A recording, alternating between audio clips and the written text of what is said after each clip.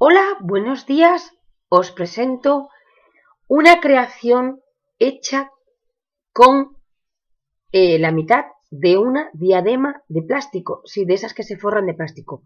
Hay que partirla por la mitad y hacer el montaje. El resultado es este. Aquí os presento dos que he hecho para diferentes trajes de comunión.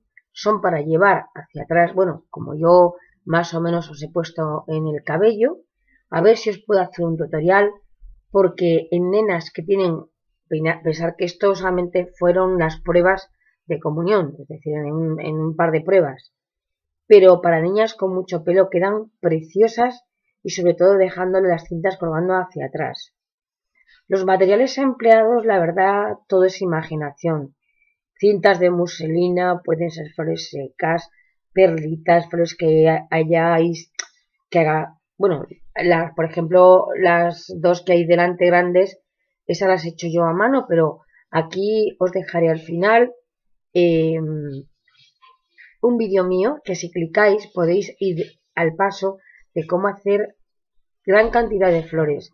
Estos montajes se pueden hacer primero, primero sobre una cinta para ir montando las aplicaciones sobre la silicona, con silicona térmica y luego directamente en la media en la media diadema que habréis forrado con eh, de antemano tenéis que poner eh, lo que es em, silicona. Es decir hacer eh, encintarla forrarla y luego en una tira aparte en una tira que la podéis colocar sobre un cartón ir colocándola y cuando ya esté seca esa tira que ya está montado todas las aplicaciones de flores y demás pegarla porque queda más bonita queda, y además es más fácil de trabajar en plano que sobre el arco de la propia diadema.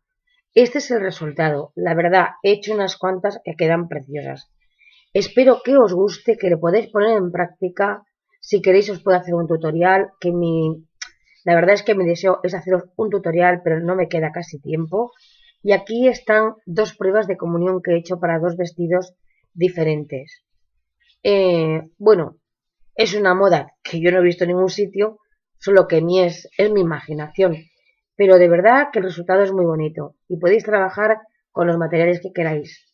Venga, un besito y espero que os haya gustado.